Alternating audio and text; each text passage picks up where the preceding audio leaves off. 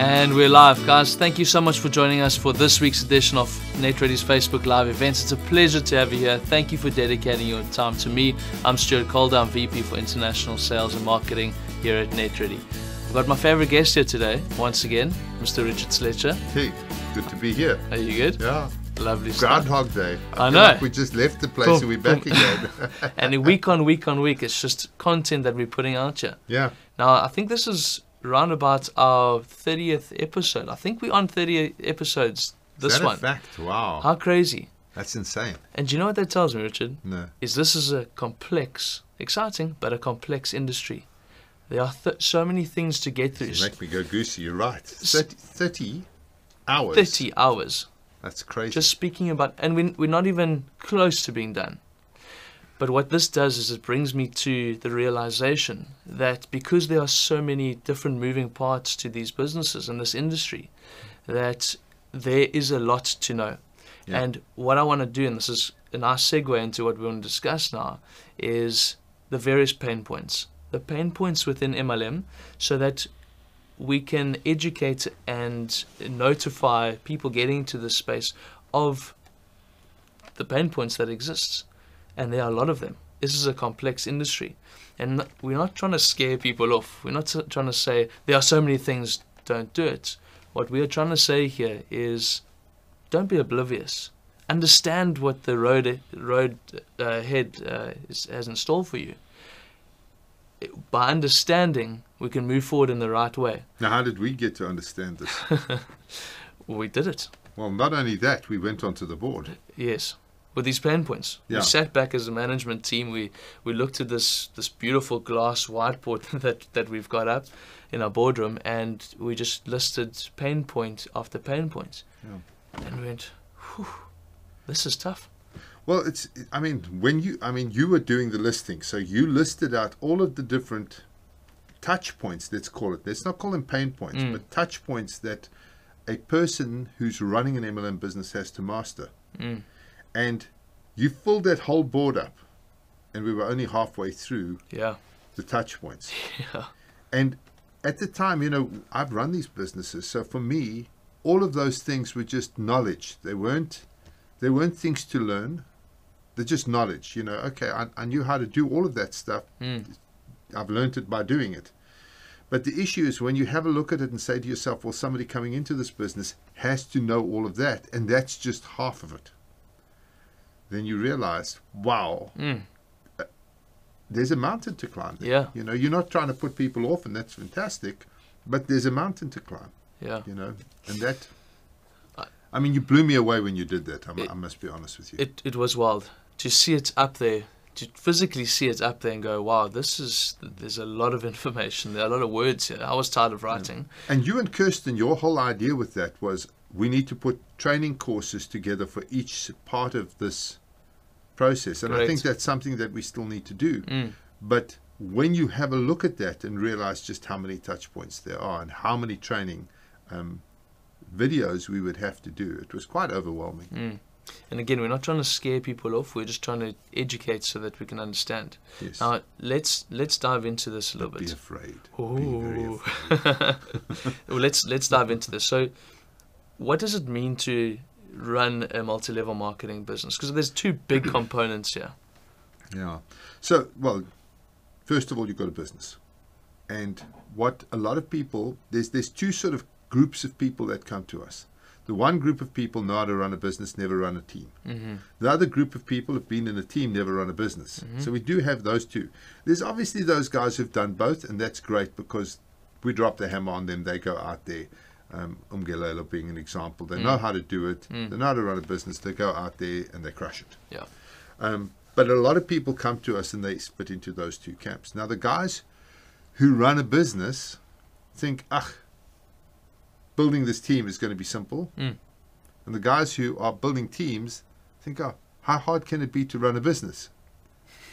Okay? Exactly. Both of them are wrong Mm. because running a business is extremely difficult.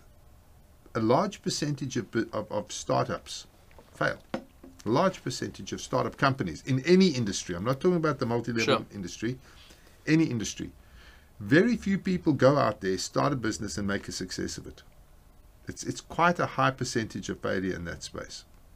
So there's skills to running a business, and if you think about running a business, and we're going to go into them, but there's Mm. everything from procurement Mm. to your finances to your support teams to your Your receptionist to your warehousing to your fulfillment to HR. to HR to finance. I mean, and, and what I'm talking about is, is scale finance. Yeah. There's there's a whole lot of things that go on in traditional business. Mm. Now that is a full time. If you're a CEO of a traditional business or the general manager or whatever you want to be called of a traditional business, you got your hands full. Mm. That is a probably if you want to be successful, it's a 10 hour job every day. You're putting probably 10, 12 hours into start up and run a successful business. Now on the other front, you've got the network. Now, the problem is the guys who own the business, they come, they sit down, take out their pencil, Mm. 2, 4, 8, 16, 32, 64, 128, 5 million 764, let's buy a Porsche. That is the let's buy a Porsche calculation. yes. and their thinking is, how hard can this be? I find two people who find two people who find two people. Yeah. Sounds simple, doesn't it? Mm. But the problem is that these people, they're an army of volunteers. You've got no leverage over them, nothing. You're not paying them a salary. Mm. You can't tell them what to do. You have to encourage them to do the stuff that you want them to do. Sure. So there's an entire full time, huge full time job building and driving the network Yes. because of it's it's a, it's a people business. It's Mm. a belly to belly business. Mm. I need to connect with you, really connect with you, because I won't get loyalty Mm. if there's no connection. Sure. And then I need to train you. I need to teach you how to do the business. Mm. And if I don't teach you how to do the business, you won't do it because it's not that the people in the network are not willing. They're Sure. extremely willing. Mm. Yeah. They just need to know what to do and they need to be encouraged and motivated and helped to do it. So I've got to train you, Yeah. show you what to do. Mhm. Then I've got to encourage you to do it. I've got to Mm. motivate you to do it. I've got to help you do it. Mm. Can you see how this And is a full time job? And then recognize me for doing that. When you do it, I've got to recognize the hell out of you. Make sure that if you sign up somebody, I'm all over it. Yeah. I tell the guy you signed up what an amazing dude you are. I tell you what amazing dude you are. I congratulate you for signing up that guy. I say to you, how can I help you train this guy? I'm involved with that process. Because down the line, you're going to do that with your people. I'm, I'm sort of perpetuating the thinking. hmm And then there's a whole incentive strategy. How do I incentivize you and get your competitive juices flowing so Mm. that you compete with other people Mm. in the space to actually up your game? Mm. And then lastly, there's an entire deal around social. Mm. Now, if you have a look at Maslow's hierarchy of needs, the pinnacle of existence is altruism. It's Mm. self-actualization. Yeah. Okay, so what you want to do is you want to pull people into a, into an environment where they love being part of it, where they love connecting with the other people around them, Mm. and where they feel like they're part of something and com- contributing to something greater than themselves. Sure. So there's a whole social outreach, there's a whole social interaction, there's there's an entire process around getting people together and getting them to to connect with each other and feel part of something. Mm. Now, that's massive. Massive. It's a full time job. Yeah. I reckon it's probably an eight to ten hours a day job. Yes. So Now- how do you fit 20 hours into a day? Well, that's the thing. I, I mean, in the last, uh, um, the last Episode. Facebook live we, live we did, we talked about my journey. Yeah. And when I started Acorn Kids, I was putting in 16 hours a day. Why? Because I was putting eight hours into running the business, and I was putting another eight hours into building the, the team. So I was getting to work really early, working my guts out, and then making sure I was connecting with the team and driving the team. That's how we built the business. Mm. And so when people come into this network, they think, ah, the team, what I'll do send out a couple of emails and send out a WhatsApp message and Mm. have a meeting at the, the local hotel Yeah. and everything's going to go wild. Yeah. Well, that doesn't happen. Yeah. You have to connect with those people. You have to build a relationship with them. They've got to love you, trust you, care about you, and then they will have loyalty to you. And once that loyalty is in place, they will start building the business for you. Mm. You don't put that in place, you're gone. So when you get into the multi-level marketing industry, either you have to have more than one person and divide your attention. So the bigger companies, the companies with the budgets, they hire key people in these places. Mm. So they'll hire somebody in the in the social space to create that cohesion, the social cohesion and the social outreach and all of that. They'll hire people to run the incentives. They'll hire people to do the recognition and manage the events and all of that. They'll hire people to do the training of the team and to go out to the people and to train the leadership and all of that kind of stuff. And they'll have a little army of people doing that. In their business, Hmm. they'll hire people to do the financing. They'll Sure. hire people Yeah. to do co- procurement and to run the warehouses and to run the support teams and to Hmm. run the the reception area and to clean the, the offices. Hmm. But when you're a one man band like I was when Heike and I started Acorn. Acorn Kids, Yeah. there was me and her, and that was it. As a matter of fact, funny story. We go to your father's Yes. uh, um, Wimpy. Wimpy, and the first time we arrived there, this lady called Sarah comes up. She's the waitress there. We, she says to us, "What do you want?" And we've got like a really complex order. So we ask her for coffee with two cups and a pot of water because we dilute our coffee, and we want this with that, and three mushrooms and two spinach leaves and a Brussels sprout because, of course, we're vegan. Yeah. And Heike wanted some crazy stuff, and so we had this really complex order. Um, and she goes away, gets it perfectly right first time. The following day, we go there again. About a week later, we go in there again. And Sarah comes up to us and says, Are you having the same again? I said, No Wow. flipping ways. Wow. And So so, we trained them well. so anyway, so Sarah goes away. I said, Yes, we want the same. I thought, Well, let's see what we get. Yeah. Which was Bob. Sarah brings us perfect, perfect, everything exactly right. I said to Sarah, Listen, we're looking for somebody to come and work for us. You know, we missed Sarah. Ah, I don't blame you. so I must just say that was before we knew you. yes, I know, no. So, so we employed Sarah and she worked for us for an entire period, right from day one, right the way through in, in, in, in Acorn. Yeah, in Acorn Kids. But anyway, Yes. that's just a side, note- side Yeah. note here. But the bottom line is that it's a complex business. Now, if there's just two of you, you just have to work longer hours. You have to put in 16, 18 hours a day, you know? Mm. And it's just like that. So you've either got lots of money and no time, Mm. you hire people, right. or you've got lots of time and no money, Mm. in which case you graft your guts out. But when you come into this, the number one pain point, and we're talking about pain points today, Yeah. the number one pain point is you better be prepared to work your guts out. If you want to succeed at this thing, there's no succeeding by sending out a WhatsApp and an email. Mm. There's no think you're gonna shortcuts. No shortcuts. You want to build a team, you better be connected with them. Otherwise, they're gone. Understand, they don't have to be there. You're not paying them. If they don't like you, they don't feel loved, if they don't feel cared for, if they don't feel that this is worth being part of it, they don't come and complain. Mm. They don't ask you for a raise. Mm. They just leave. Yeah. They're gone. And then you look at your, your network and you see all of these dead nodes. There's only one reason there's so many dead nodes is that because you didn't care. Mm. If you didn't care enough, that's what happens. Sure. So, so that for me is one of the big pain points that Mm. most of the companies, when they get into the space, don't realize. They think this is easy. Mm. 2, 4, 8, 16, 30. Let's buy a Porsche. Mm. It's not like that at all. Sure. Well, that's the intention of this. We want to address all these these pain points so that there isn't there's no oblivious feeling towards you know your operations within this industry.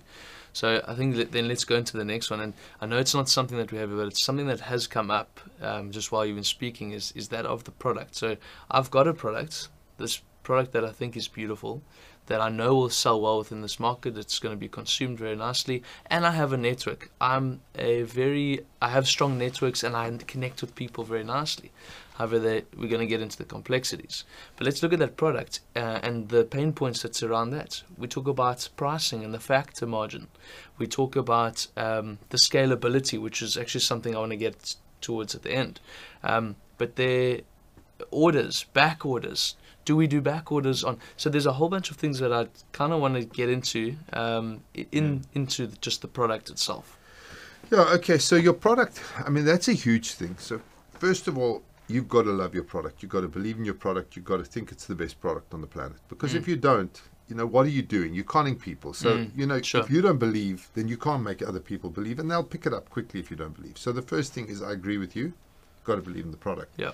But then what I find is that a lot of people who are network people, who are people people, feel guilty about making a profit. Yes.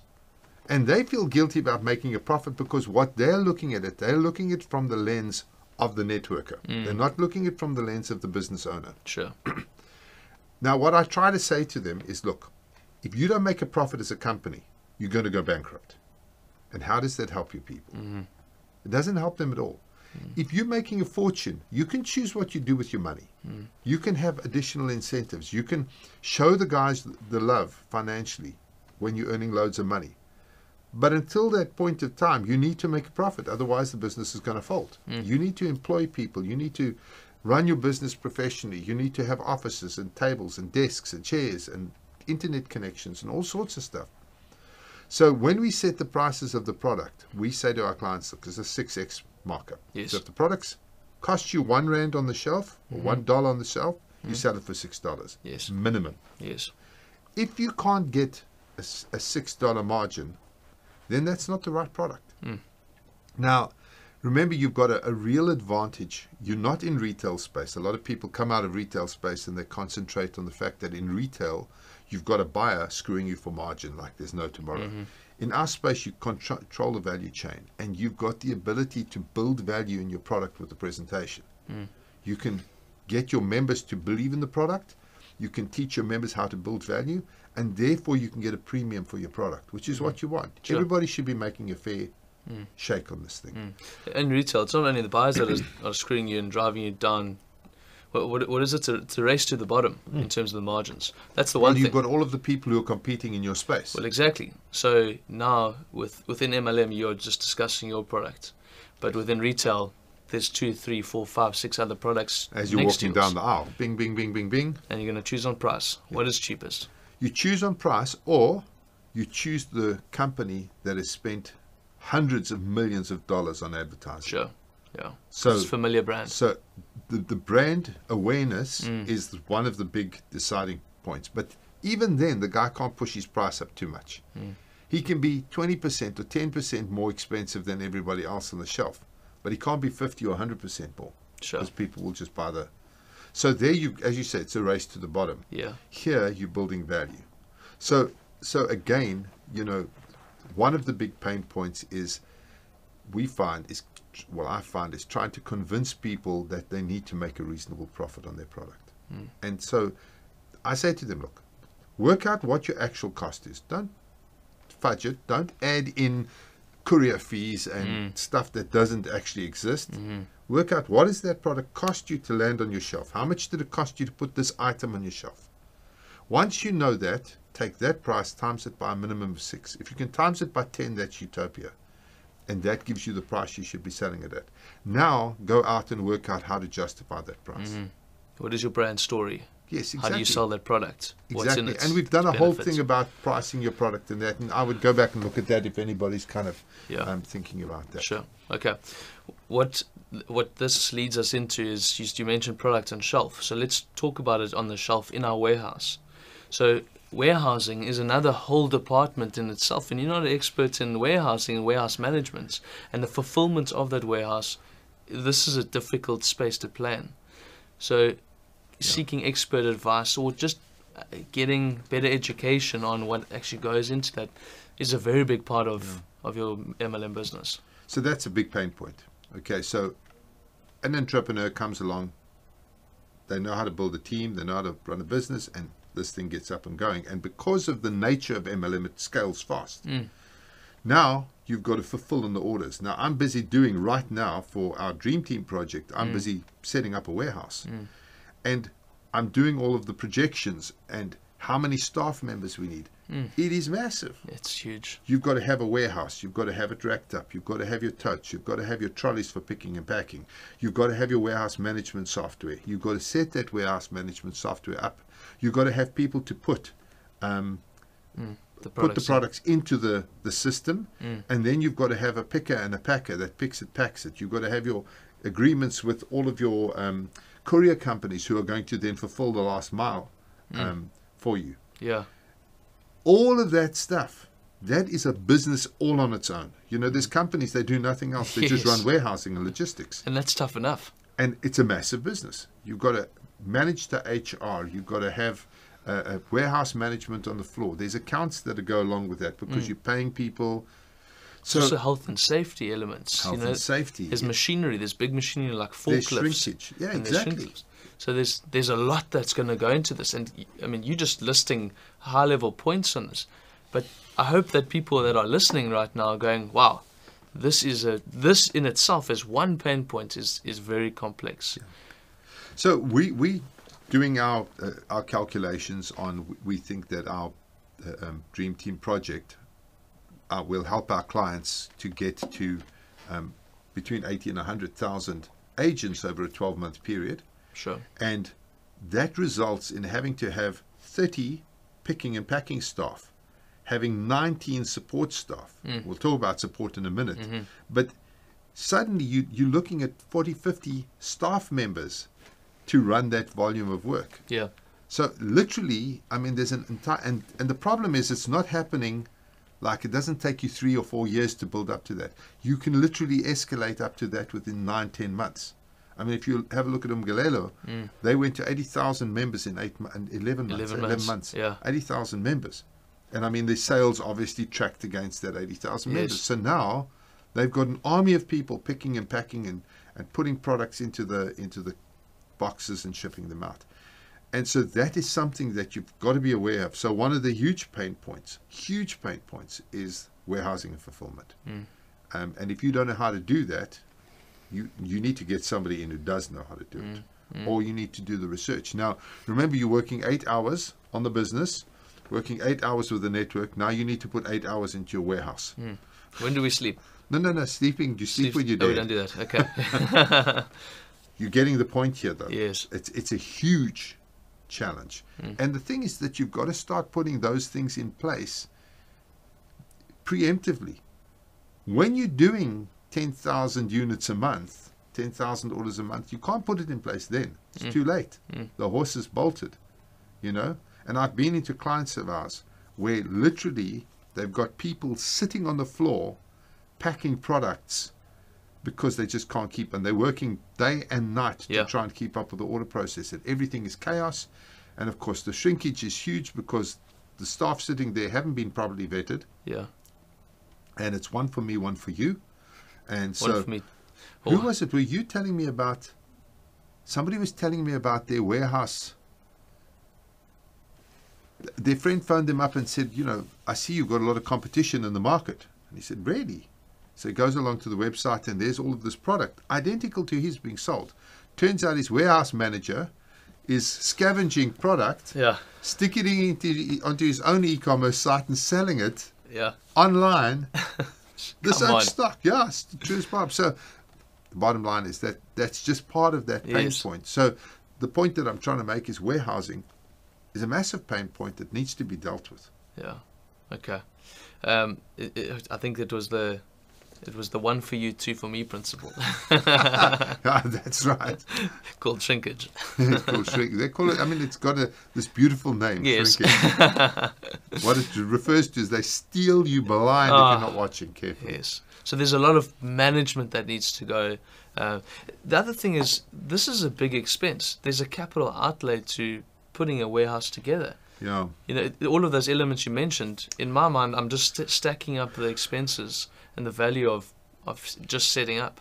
Well, after 12 months, I mean, your your setup costs we are we are calculating to be between two and three hundred thousand rands to set up a a small expense. warehouse, and then your running costs just at eighty thousand members, your running costs are about a half a million rand a month. So so it actually it, it racks up quickly. Yeah, but by that time, um, 80,000 people, your business is scaled, so money is coming in. However, money needs to be going back into product and bringing that in, manufacturing and producing, rather than the warehouse. And unfortunately, warehouse is a huge component Yeah. of the business, Yeah. so it needs to be managed. Yeah, exactly right. Let's talk about uh, the documentation that we need, the business setup. So we set up our warehouse, everything's up and running, and everything's going there.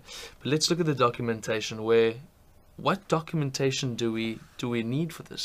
I mean, I have a list in my mind, but the documentation is is something that you need expert consulting on. You need the, the supply agreements, and in supply agreements, there's a number of elements that we need to uh, tackle and make sure that suppliers are delivering on uh, the continuity factors.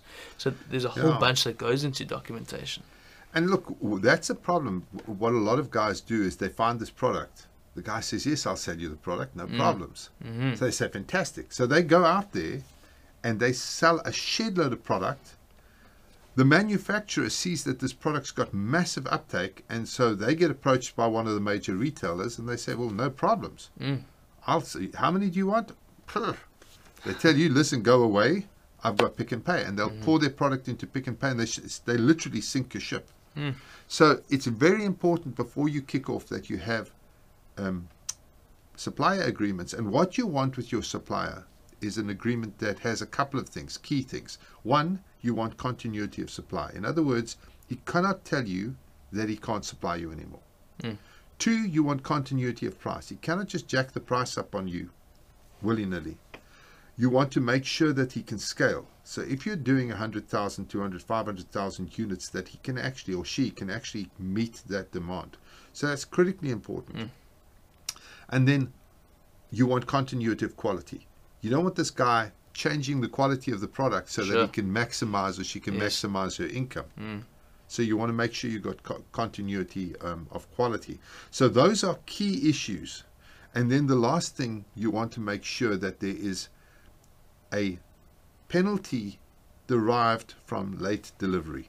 Because the guy can say, yes, I can supply you that, put in the order, pay me, and then it can take six months to deliver it. Mm. So you need to have timelines in place in your in your agreements to ensure that if you order it today, you can you have predictable timelines when you know that product is going to be on your shelf. Mm. Because otherwise you can't plan. Sure. So if this person commits to you to a four week delivery time or a two week delivery time or a six week delivery time, that allows you to plan your cash flow. Yeah. But if you don't have that in, in place, and it happened to us twice, yeah. you know, you would think I would learn the first time round. no, I needed two lessons on that. Yes. But, and you know now, we make sure our clients have good su- supplier agreements in place. Yeah. But you've got to put that in play if you want to s- uh, succeed. Yeah. The second thing, of course, is that you need agreements with your members. Just, just sorry, just before we go into that, I think the the your, the continuity or the agreement that you have with sup- your supplier on um, timelines is one thing, but the agreement you have with the supplier on volumes, projected volumes. Now, with within this industry, you don't know if by the fifth month you're going to get ten thousand people, or by the end of the first year it's still at ten thousand people, or you got eighty thousand people Or 100,000 or 200. it's very hard to to forecast what size of your network what the size of your network is going to be. Here in South Africa, we look at an average of 30,000 members. 30,000 members, s- all spending. What is the average? About average? 500 Rand. It's about 500 rand. Okay, Yeah. so so which is about 35 dollars. Um, you don't know how to project this. So when you speak to supplier, the discussion with the supplier and the confirmation that you need to get is if we achieve certain milestones, will you be able to fulfill on timeline and volume?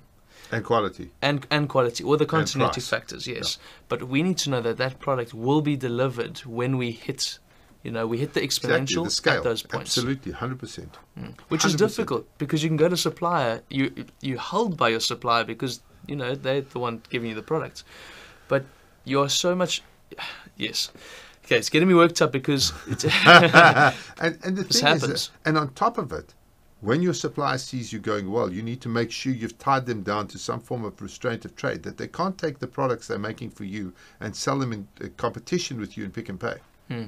Because what these suppliers do is they take your product, they reformulate it slightly, they slap a slightly different label on, and they stick it into to the retail stores. yeah And they're trying to double dip on, on your product. sure And so you've got to have that part of your co- contract. So, look, I would get a lawyer in, involved in Mm. that. I mean, we're not lawyers, but I would have a lawyer because that's a key part of your fi- uh, your um, the documentation documentation. But then there's the and documentation. that's one part Yeah, documentation with your network. Yeah. What happens if the guy dies? yeah What happens to his income stream? Can his family inherit it or not? What happens if a husband and a wife are together and they get divorced? Who gets the network? Hmm.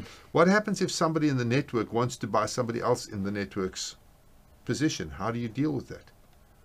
Now, there's a thousand of those what ifs that have to be in your supply agreement. Otherwise, your heavy hitters, the guys who are earning big money, will just pull the carpet out from under you. And if you do anything they don't like, they will sue you to pieces.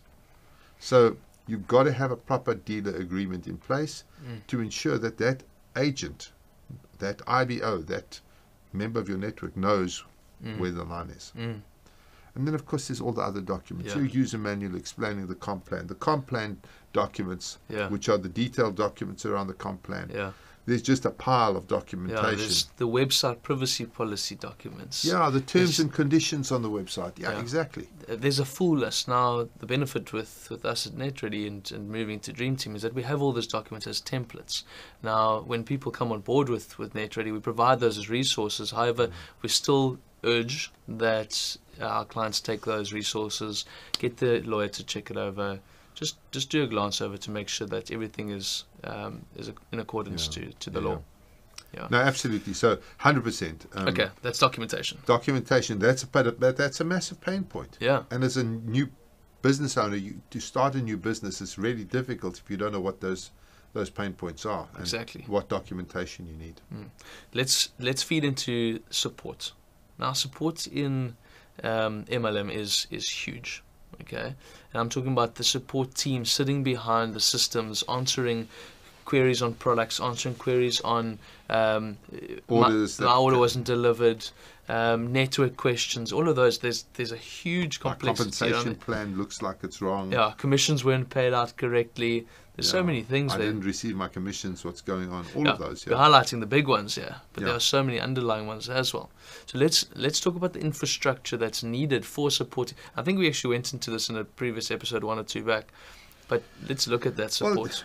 Obviously, you need your support team. So you need desks. You need um, computers. Yeah. You need staff. You need internet connections. You need a place for them to sit. And and the challenge is there. You're looking on average, the cost of a support seat is somewhere between fifteen and twenty five thousand rand. I don't know what that is in dollars, Mm. but it will be probably substantially more because if you're in the US or in the UK paying it paying in pounds, your staff component is much higher Mm. than than here in uh, in South Africa. So, but in South Africa, let's say between fifteen and twenty thousand rand per staff Mm, member, about a and thousand then, dollars. then they've got to manage it. Mm. You've got to manage that staff member. You've got to make sure they come in on time, that they answer the tickets quick, correctly, that they're fully trained on all of the aspects of the business that they've got to um, uh, relate to. And then as your business scales, you've got to scale that support team. So if you've got 80,000 people, you've probably got 20 or 30 support staff who are answering tickets for those people. hmm Yeah. So that's a huge, huge thing. You know, so so support's a massive, massive, massive part of your business. Mm. As a matter of fact, there's companies that all they do is support. Yeah. That's a full-time business. yes. So remember, we're putting eight hours a day into the running the business. We're putting another eight hours into To the network. network. We're putting eight hours into the warehouse. We're going to put another eight hours into support. Excellent.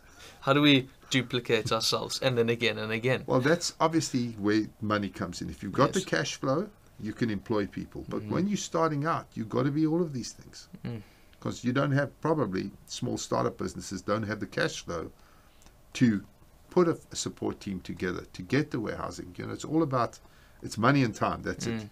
You've Mm. either got the time, no money, money, no time. If Mm. you've got the money, you employ the people. If you've got the time, you do it yourself. Sure.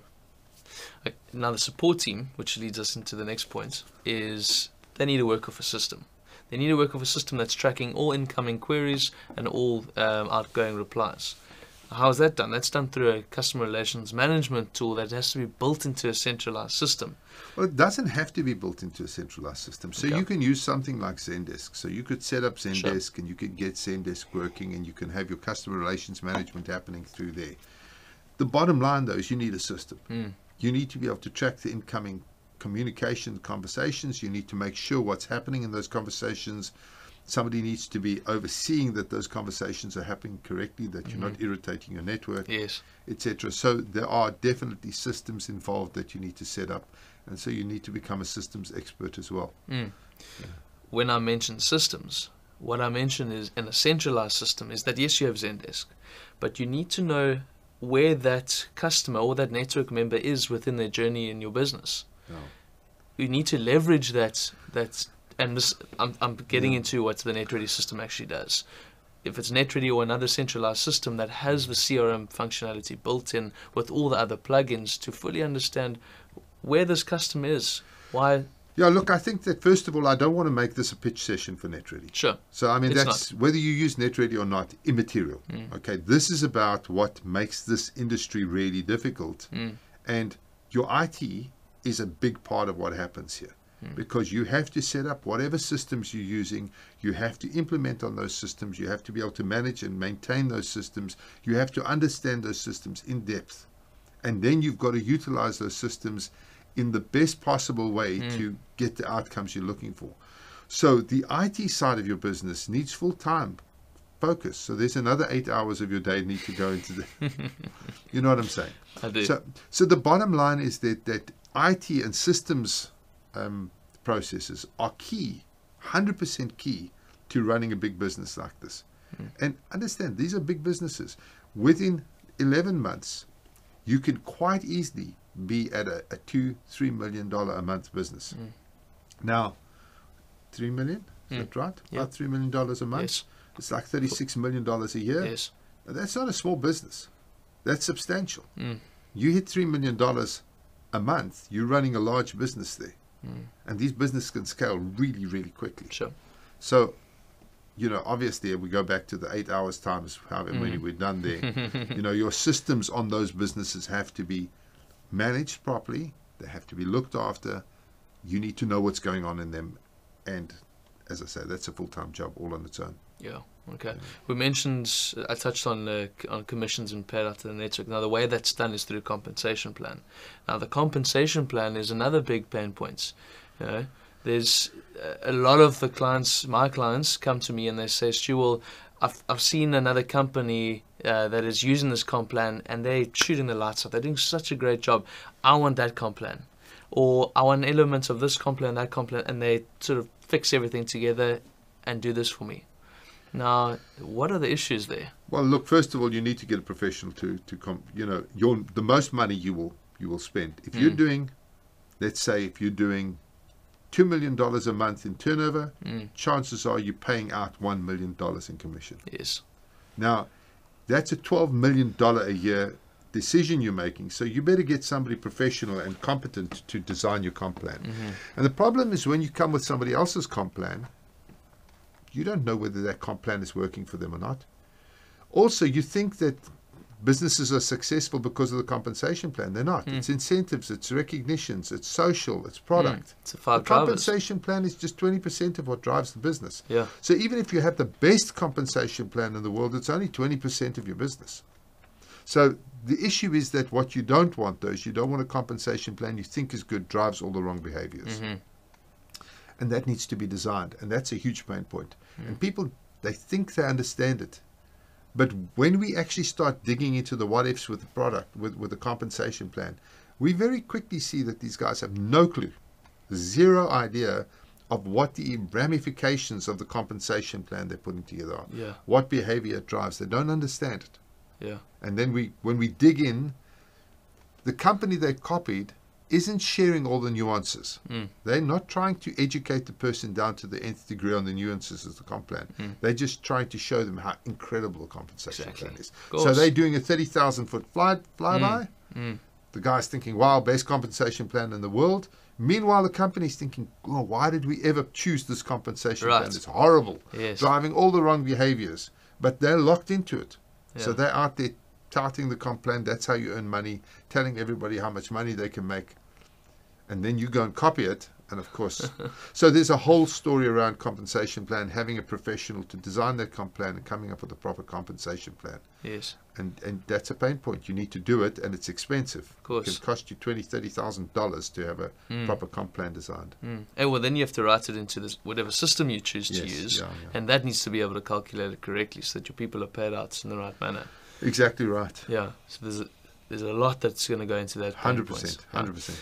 we're dancing on all the different uh, pain points here, and we can go into so much detail on each one. But I think it's good to just highlight these. Yeah, yeah, I think what we're doing here is is the right way to do it. absolutely. Let's go into uh, the finan- the financial side of the business and just uh, the paying out the commissions and who you need to have in place, the staff um, um, function that you need to have available, all of those things. That's that's a pain point in itself. Well, you need to have somebody who's who's focused on nothing else. Mhm. Because what happens, especially once you start getting traction, people are putting money into your bank account. They're paying with credit cards. They're paying with debit cards.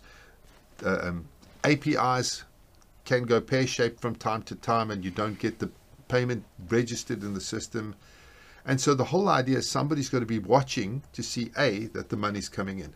And guys do crazy things. I mean, when we were running Acorn Kids, people put money into our, our, our, our account, and they would do a direct deposit, and the reference in this was payment for my order. Brilliant. Outstanding. now we've got 20,000 orders in the system for the month, and this is payment for my order. We don't know who she is or he is. We don't know what she or he has done, what they bought. We've just got some arbitrary amount, and sometimes the amount they put in is not even the same amount that's on the invoice. And so you need somebody here. No, you have no idea. Payment for my order. You need somebody who's full time focused on that. Because once the money's in, commissions need to be calculated. Normally, your systems, are, commission calculations are systemized. And then at the end of the month, you've got to audit it. Because you've got to make sure you don't pay out twice as much as you should. Mm. Yes. So you audit the commissions, make sure you do a sanity check. hmm Is this right? Yes, it's right. Fantastic. Pay out the commissions. Then that process has got to be managed. Either you're uploading a file Mm. or you're loading the payments into whatever mag tape systems you're using. Yeah. That's showing my age. Or however you're doing it, out goes the commissions. And that whole process needs to be mar- managed because remember, you're doing $2 million, you're spending a million dollars. That's big, real money that's going Mm. out the door every month. You double that payment, you've got no money in the business. Yeah, well, that's exactly right. Yeah, good point. Thank you. Yeah. So that that's a, that's a serious pain point, and it needs to be everything from your compensation plan to all the finances, right the way through to getting your money, making sure it's in there. Mm. And then you've got people def- trying to defraud you. The guy will send you proof of payment, and if you act on that proof of payment, Yeah. It's in an, an SMS. well, Or it's text not on. necessarily an SMS. They actually defraud you by making the uh, payment Yes. ticket in a Oh, computer look payment. Yeah. look different. You know, they add a nought onto the they they put in three dollars and they add two noughts on it and make it look like they put in three hundred dollars. You know, so people are actually out there trying to Mm. scam you, and you've got to be on top of it. Well, you've got a network of 100,000 members plus their customers. Yeah. There's, there's bound to be people in there that are chance takers. Exactly. The, the, the systems that you mentioned, uh, you know, in addition to running all of this, this needs to be run off a centralized system. And we've got there's companies like in South Africa, there's Xerox, there's Sage. Um, there, there's a whole bunch of different accounting management packages that you'd use. Do you suggest these companies using this? No, look, I think that I think you need a system that is specially geared for multi-level marketing. Mm.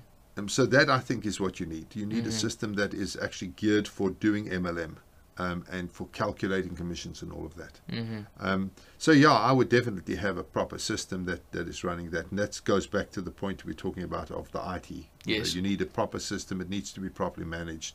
Your IT is a big part of your business. Okay. Yeah. So this is training your people on those those uh, nuances and there's specific elements that they need to focus on, and which do not pay out too much commissions and identify potential fraud. But also your people, teaching the people that you, you can't just say paying for my order. Uh, Yeah. Thanks. So that brings in training, of in course. training, Yeah. exactly. And training is a huge aspect of this business. Well, it's a full-time job. So remember those eight hours we were talking about? yes, eight it's times five eight hours now. We're now eight times six hours. Yeah, so so training is a massive, massive part of the business because you've got to train the people on your product. You've got to train the people on on how to do their use the system. Mm. You've got to train them on things like how to make payment and what to do, Mm. how to use their e-commerce platforms and their replicated website, how to market on social Mm. media and use the the material that the company's giving them, how comp plan. to how to how the comp plan works, how to find prospects, how to get the prospects to sit down and listen to them. How to All- close those prospects. Exactly. So that's all training. That's a full time job, another eight hours. And that's a huge pain point because what our clients are doing is they so they're drowning in business work. I call it busy work. Mm. And they aren't out there able to do productive work because literally the lights have got to stay on. Somebody's got to switch them on. The accounting's got to be done. Somebody's got to do it. And if you're a one man band, that puts a massive amount of pressure onto you mm. because how do you deal with all of those things? You know, and and then, and it just brings me back to what I was saying before. If you are working on all of these things that we've just talked about, how do you have time to grow the business, the mm. network? Mm. And so it's one of the reasons. I mean, we have clients who come to us who just never ever get off the ground. What is the reason? The reason is they don't have time to go and do the most important thing, which is building the network. And they can't build the network if they don't have all of this infrastructure in place. Mm. Because how do they fulfill on the promise? So it's it's massive, yeah. Well, how do they go and do it? Well, they, they employ the right person, people, person in this case, to build the network, drive the network. And we call this person a network jockey. Yes. That person, sole focus, just like the accountants, their sole focus is to build and motivate and drive mm. this network. Now, what some of our small companies do, which is a massive mistake, is they give the jockey the top of the network. Mm. Mm. And so that's a complete disaster because that is the most expensive person you ever get in your whole life because that guy's there forever. Mm. And so once that business is going and you've got like leadership in place, suddenly that jockey, all he's doing is he's reaping masses of money off you without having to do anything. Once the business is up and running, he's just taking cash. Yeah. Now that's a complete disaster, and it's it's easy when you've got no money to think, ah, yeah, look, I would be happy to give him whatever to get this going. Mm. But two, three, five, ten years down the road, when you're paying millions of dollars a month to this person who's doing nothing, you realize that this was a massive mistake that you made. So your jockey should never be part of the network, and should always, hundred percent, always just be a paid Mm. Um, a- member of your staff, an Yes. employee. Yes. End of story. No hybrid model, no sit in the network and no, no, you should never do that ever Agreed. Yeah. because, I mean, it's just what benefit do you get from that? Mm. So if you can't afford to hire somebody, you need to be that person. Mm. So that's a key person. It's it's the most expensive person. It's the most important person in the network, and you need to be that person. Or you need to find somebody you can hire who can be that person. The, the issue with it, and, and I, I say it's an issue because a lot of the clients come to me about this this point specifically, is that they go, well, how do I actually incentivize the jockey to drive the network and truly have a vested interest in the business? And that's why they go into the discussion of should I put them in the network somewhere? Yeah, and and you don't want that. Yeah, If they're in the network, then they're interested in their own business. They're not helping people who are not No. in the network. That's a big So issue. you just pay them. They run the network for you. They do the training. They do the thing, and then you're paying them. You have leverage. Mm, You can say to them, "Listen, you need to do training tonight. You need to do this. You need to do that." You can give them a list of things to do, and they can be focused on doing them. mm, It's like your accountant. You don't wonder is your accountant going to do a good job. Mm. You don't say to them, "Listen, I'll give you half the company if you do the accounting." You know, you wouldn't dream of doing. for sure. Yeah, you know, Yeah. your receptionist. Oh, don't worry, I'll, I'll I'll give you three quarters of the company. You come be my receptionist. No, Yeah, and the same thing with the network marketing. The most important part of the business, you don't want somebody to own that. And then they get disenchanted with you. They own the whole network. They push off to another company. They take your whole network with them. business done.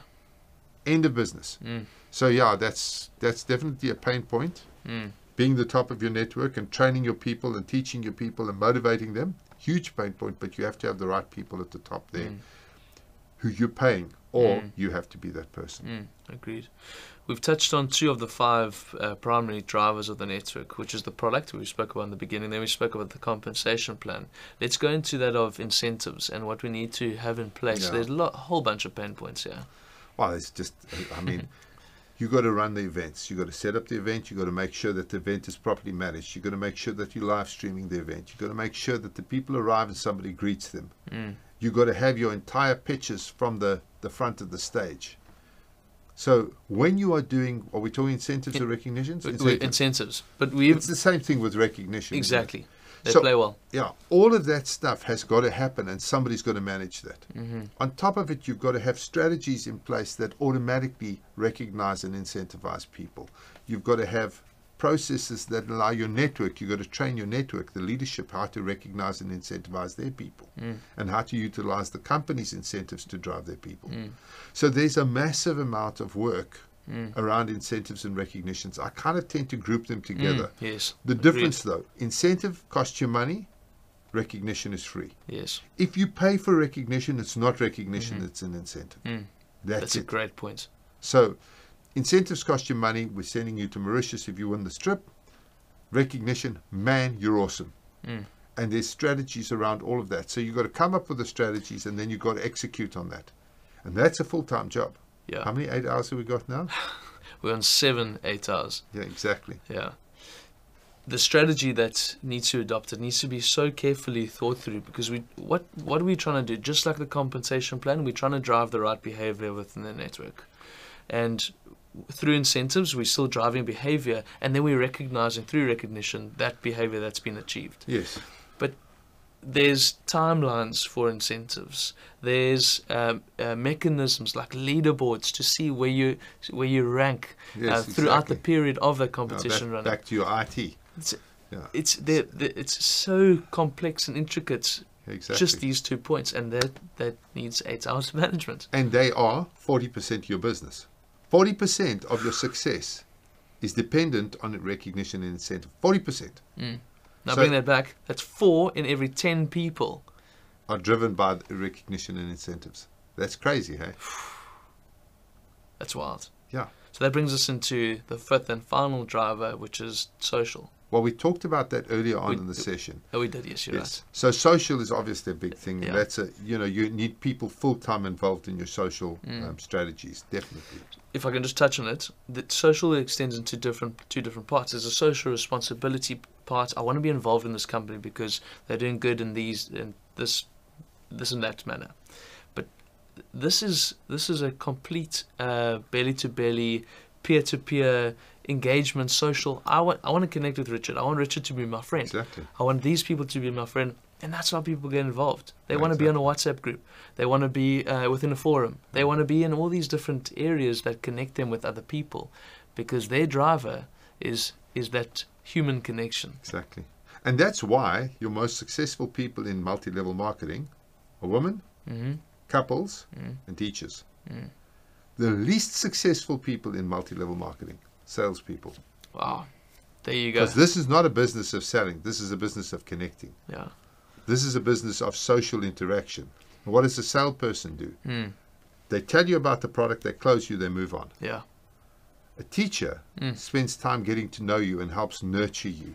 So, teachers and trainers, Mm. couples Nurses. and women, Yes. nurses, all of those kind of people type people are successful in this business. Okay. So, So we've got all of our drivers done. We've got business setup done. We are now becoming a successful business within this space. Now we hit what we call the golden cycle. Okay, we've ramped up our business, and at the golden cycle, there are so many different points in which we need to bring all of those elements together in one. And so normally you're running three three times a year. You're giving the business a push with the golden cycle. So what you're doing there is you're having these big events. Mm. And there's a strategy around those as well. But you bring people into the event, you wine them, you dine them. They pay to be there Mhm. because you've got to cover your costs on that.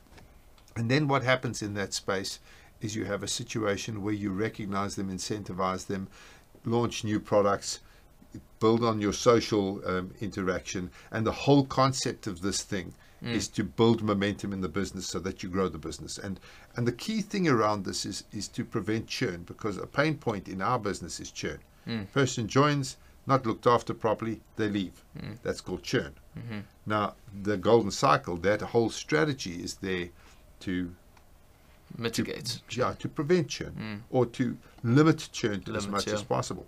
But that is an entire strategy. Mm. And that's an entire, you actually need people to be involved in that whole strategy. But it falls into what we've set up until Yes. now because we, we've talked about incentives and social. It's, it's the same thing, Mm. but it's just strategically um, um, executed. Mm. So, so to say. So it's more about execution than it is really about a pain point. The pain point is organizing the event. Yes. The execution of that is okay. What do we say at, at, at this event? Correct. Yeah. Yeah. Okay.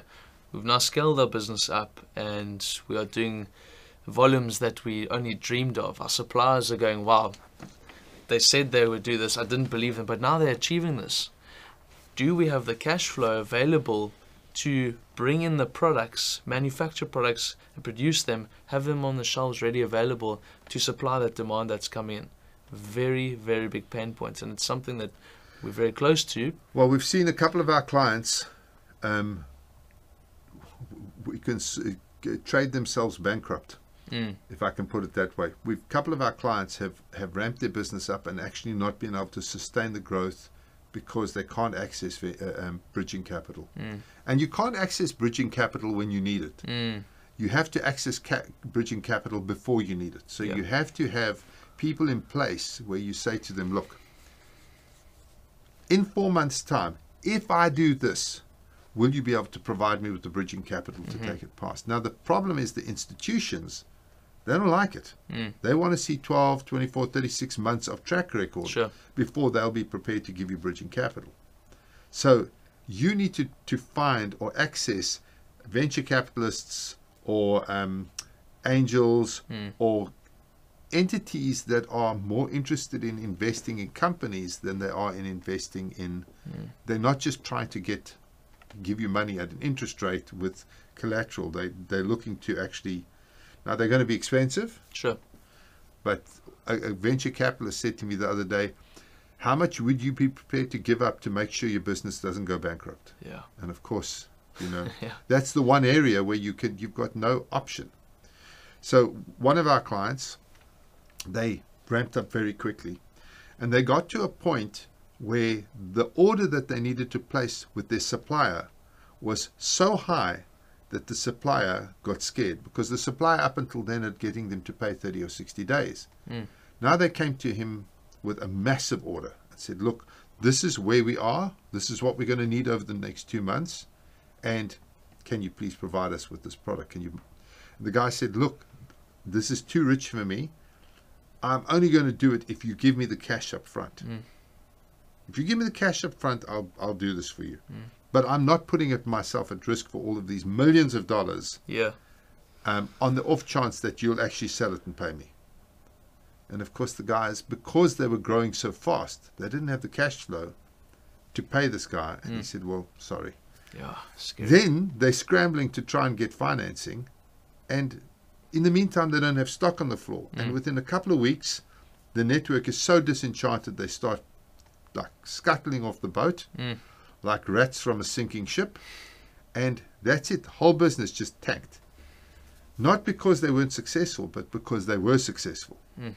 Now, this is a massive pain, pain point, being able to access real capital when you need it. That bridging finance to take you through. Because look, our business is an S curve. You have a linear point where you're busy doing your launch strategies, etc. Mm. At some point, you hit critical mass and the business goes vertical Mhm. and there you're signing up, you're doubling up, you're getting Mm. that exponential, let's go buy a Porsche calculation. At some point, the, the business tops out. It Mm. cannot go forever. It's mathematically Stabilizes. impo- possible. So you get to the top of the S curve. Now you have a stable, stable business. It's either flat or it's growing in a linear fashion. Mhm. Very manageable. Mhm. This bottom section, very manageable. Yes. This vertical Yes. section problematic. And this is where you need the bridging capital. And generally, this happens for 12 to 18 months. And then it tops out. Yeah. So you need to be able to access capital to see you through that 12 to 18 months. Mhm. Because if you don't have the capital, it's difficult to do it. I've done it out of cash flow. Mm. But literally, you cannot spend on anything. You cannot go out and buy a Porsche. Mm.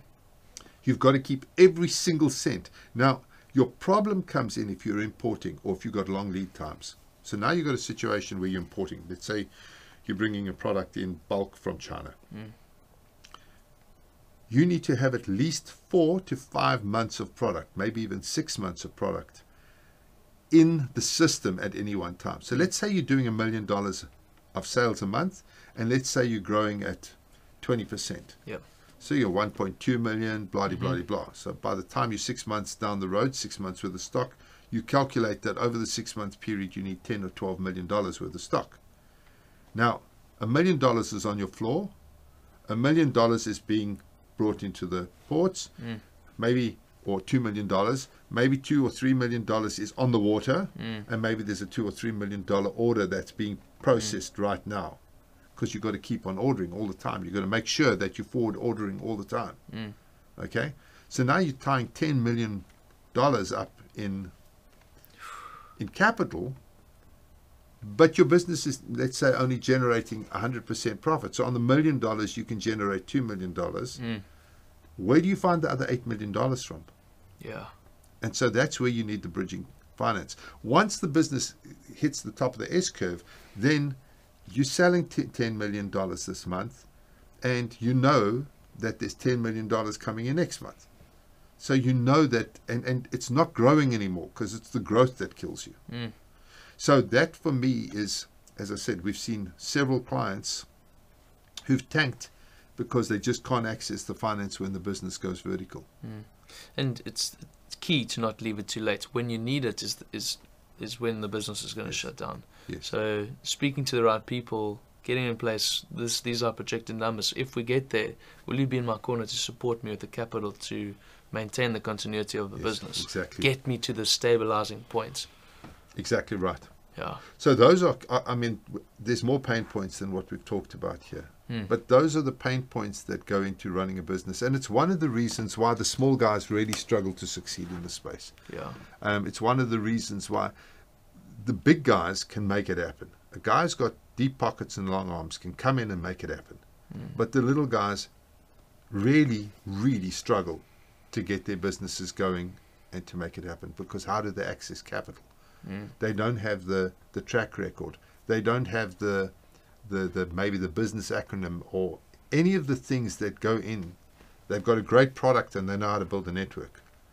But everything in between is, is a vacuum. Even big companies who recognize the the scope of these businesses Mm. kind of say, whoa, Yeah. you know, this is actually this is serious business. Mm. Serious business. Mm. Not just a business, business and a network. Sure. It's like running two businesses. Yeah. And then it's not just two businesses because you've got warehousing and, and e-commerce fulfillment, you've got training, you've got motivation, you've got video production, you've got all sorts of stuff that's Yeah. happening. So, I mean, it's just, it's the scope of this. And I, you said we don't want to scare people, and we Mm. don't. Mm. Um, but understanding the scope of what you're getting yourself into is key to be able to mitigate those risks and to be able to plan for what you're doing. Exactly. Yeah. There's always a solution to a pain point, but that's built on understanding what the road ahead has and then building strategies to make sure that you mitigate all that risk. Yeah. Boom. That's it. So what I would like to come into, and, and this is not a pitch session for NetReady at all. Mm. Um, you know, as you know, this content is free. Yes. Anybody from anywhere in the world can tap into this and watch it and go out and make magic out there. And Mm. we, we're really happy. Anybody who succeeds in this space, I believe, is helping humanity. And one of Mhm. the reasons I got into this business right in the first place was to try and help put food in people's tables and a roof over their head. Mm. And if I'm doing it, fantastic. But if somebody else uses this content to do it, 100% happy. I'm excited that they are doing it and helping people change their Mhm. world.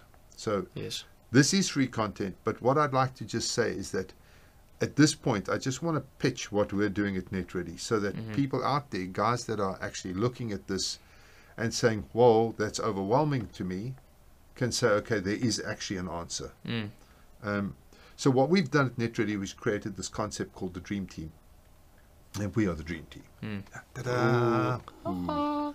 So, so what we what we're saying to our clients, look, you guys know how to build a team, and you know how to You got Sort a of- great product. find a product, or you've got a great product. Mm. So what we're going to do is we're going to provide everything else. So we will do the financing for you. We'll make sure we collect the money, that we pay the commissions, that we track the cash. We'll do all of that. We'll provide you with full warehousing and fulfillment. You push your product into our warehouses, we'll pick it, we'll pack it, we'll ship it for you. So we'll make sure that the, the, the, we count the stock, we keep track of the stock, that we have the staff. We'll provide you with the support team. So we will have a full-time support team that will actually answer the questions. Where's your product? I don't understand my compensation plan, etc. We put together the training with you. It's in conjunction with you, but we do a large portion of it Mm. for you, so that you can actually just uh, um, go and deploy the training and use the training. We teach you how to run your network and how to keep your network motivated. We handle the incentives. Not only that, we actually pay for the incentives. Mm. We handle the recognition for you, so we make sure that the recognition happens and that it's that it's exciting and Mm. and that your people are. We show you how to drive your people with the recognition. Um, what am I missing here? The system. Oh, we set up and, and manage the whole IT solution for you, from the warehouse management systems right the way through to the multi-level marketing. All of the IT solutions we handle for you completely. And then we've got in-house um, venture capitalists Mm. who, if your business grows, they understand our model. Mm. They're excited about our model. Yes. And if your business is growing, obviously they're not interested if you haven't started growing. If you've got a great idea, they don't care about that. But if your business is getting traction and you need bridging finance to get you through that growth, we have internal venture capitalists, VCs, who understand our business and who have got the cash flow to come into your business and say, okay, we will fund the growth over the next 18 months until you get to the top of the S curve. Mm. Obviously, don't, don't do it for free. Mm-hmm. You know, Sure.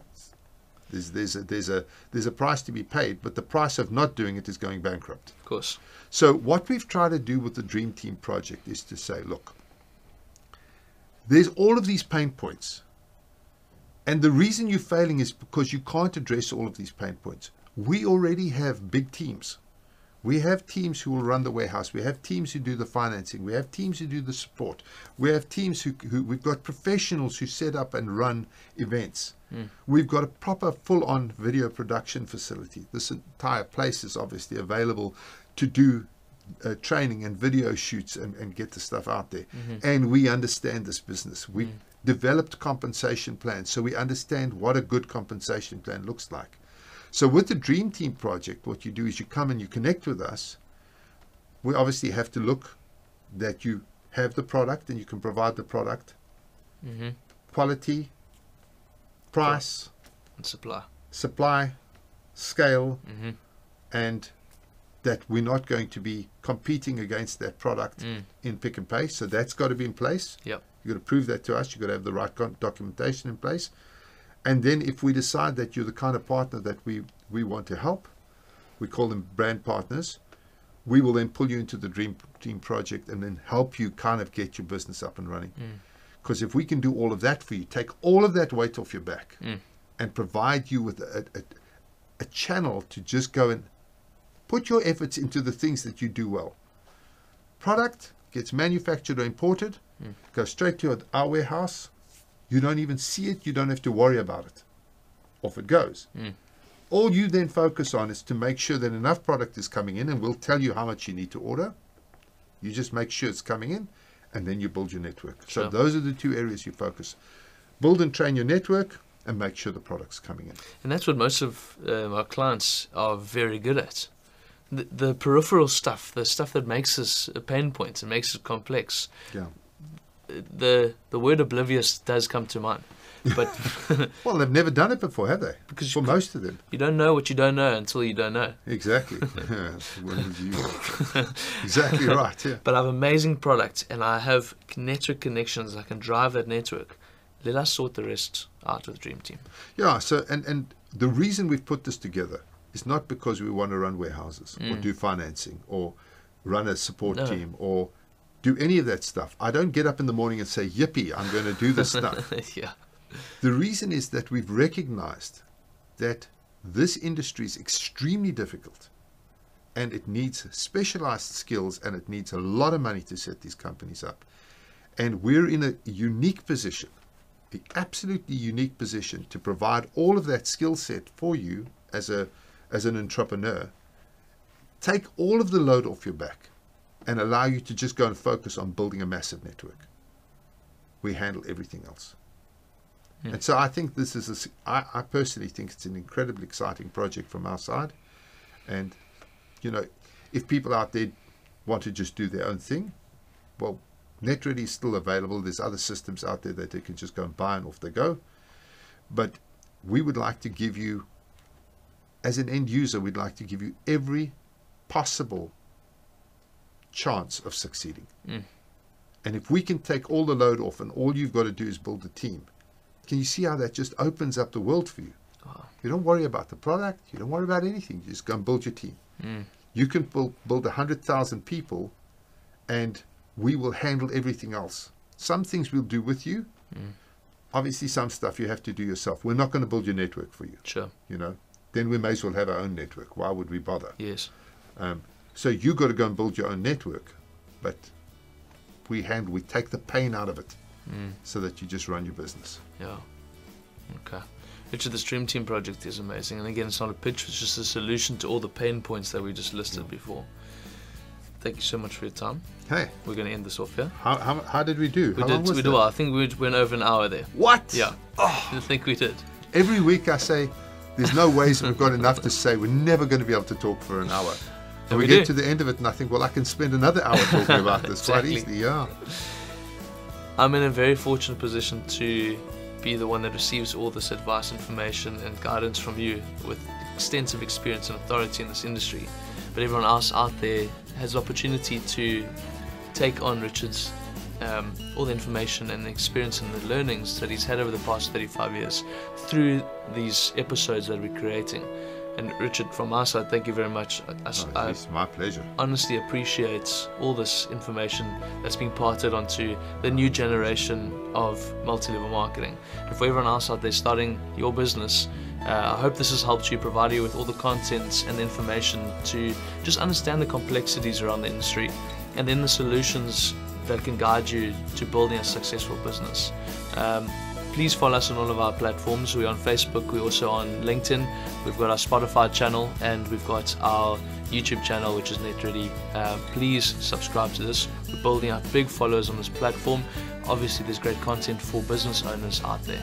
And I just want to, I just want to end off by saying, I don't know if I've got that camera on me. Yes, there it is. I see the light coming out. What is that? if you enjoyed this content, please tell anybody who wants to listen to it, tell them about it. If you didn't enjoy the content, please keep it to yourself and don't tell anybody. okay? So just, but spread the news because there really is, this is, this space we're in is amazing. I've never in my whole life of doing business seen anything like multi-level marketing. I've never seen businesses that can scale like this, that can get to the kind of turnovers that you can get to here. So this is something exceptional. And I know we, we scared the hell out of you with all of the pain points. I'm really sorry about that. But this is an exceptional industry. And believe me, if you do it right, it is honestly a license to print money. It's incredible. So thanks again also. Thank Stuart, you've been amazing. We, we keep on doing these things week after week, and I mm. so love doing them with you. Mm. It's just absolutely exceptional. So thank you as well. man. So do I. Love it. Thanks, Richard. Thank you, guys. Enjoy the week.